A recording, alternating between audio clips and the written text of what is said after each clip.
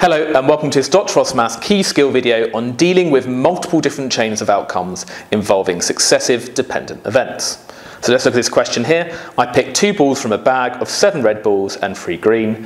Fill in this probability tree. Now we explored this in a different video, but I will explore it again. This represents our first choice of ball, so we could either get red or green. We work from left to right. So what's the probability of getting red on our first pick? Well, out of the 10 balls, 7 of them are red, so it's going to be 7 tenths probability of getting red and 3 tenths probability of getting green. Remember that the probabilities go on the lines, the branches if you were, and the outcomes, whether it's red or green, they go at the end of the line. Now, a probability tree is great at representing a sequence of outcomes. So if we had, for example, this path from left to right through the tree, that means you're picking red on the first pick and then red on the second pick. So if I picked red on the first pick of ball, notice by the way, I'm getting two balls from the bag. So if I picked my first ball, I'm not putting it back because I'm getting a second ball from the bag now, so I end up with two balls. So if I've picked the red on my first pick, what's the probability the second one is red? Well, I've only got six red balls left because I've got that red ball in my hand and three of them are still green. So out of the nine balls left in the bag, six of them are red, so that's going to be six ninths. I'm not going to bother to simplify that. And of the nine balls, three of them are going to be green. Now, what about if I picked green for the first pick? Well, now I've only got seven red left and two green. So out of the nine balls, seven of them are still red, so it's seven ninths probability of getting red, given I picked green for the first pick. And then it's going to be two ninths of getting green because out of the nine balls left, two of them are green if I picked a green on the first pick.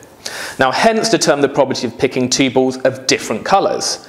Now as implied by this title, there's multiple different sequences of outcomes where we'd have balls of different colours. What could we have? Well, for our first pick we could have had red, and the second pick, if it's a different colour, could have been green. So we could have had red for the first pick, green for the second pick, they're different colours. Or we could have had green for the first pick and red for the second pick. Again, you'll have two balls of different colours. Now, let's find the probability of each sequence of outcomes. The probability that the first ball is red and the second pick is green, well, the probability of getting red first is 7 tenths. Now, if we picked red, if we follow this path, where we picked red first, it's then a probability of 3 ninths of the second being green. So put the three ninths here. And because I use the word and, the first being red and the second pick being green, we multiply them together. So if you see the word and, you times in probability. And multiply these fractions together, that's just 21 over 90. What about green followed by red? Well, the probability of the first being green is 3 tenths. The probability then, if we picked green the first pick, the second being red is 7 ninths. We multiply them together, oh, we get 21 90ths again. And a general point is that if you have the same letters here, but in a different order, you end up with the same probability. So without doing this working, we could just immediately write here 21 over 90 because we know it's going to be the same probability as above because we have the same letters. Now we want the probability that we got red and green or we got green and red. Now, if we use the word or in probability, we add these together. So 21 90ths plus 21 90ths, we have the same denominator, so we add the numerators, we get 42 over 90. And if we wanted to, we could simplify that probability, but that is the final answer. Now, the second question is just to demonstrate that we don't need the tree to be able to do this approach here.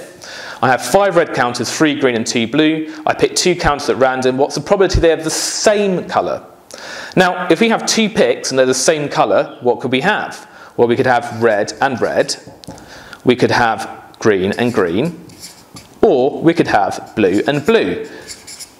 So as before, as what we did here, we list out all the matching sequences of outcomes according to this description. So if we have the same colour, these are all the different matching sequences of outcomes that we're interested in. And then we do exactly the same as before. What's the probability that the first ball is red? We don't need a tree to do this. Well, out of our 10 counters, because 5 plus 3 plus 2 is 10, out of the 10 counters, 5 of them are red, so it's 5 tenths. Now, I've already got a red counter in my hand and I'm picking a second counter. So how many counters do we have left? Well, we've got nine counters left in the bag, and because we've got a red in our hand, there's only four red counters left in the bag. So it's now a probability of four ninths of the second counter being red. And this is why they're called dependent events, because your second pick of counter depends on what you picked on the first counter. So notice the probability of getting red on the second pick changes because you picked a red on the first counter. And remember what the probability of red followed by red, red and then red for the second pick, so we times together, that's 20 over 90. What's the probability of getting green and green? Well, there's three greens, so it's three tenths probability for the first pick being green.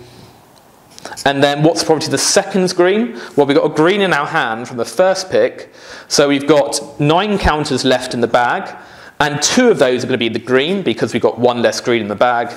Get multiply these together, we get 6 ninetieths what about getting blue and blue? Well, the probability of getting a blue on the first pick is 2 out of the 10 counters.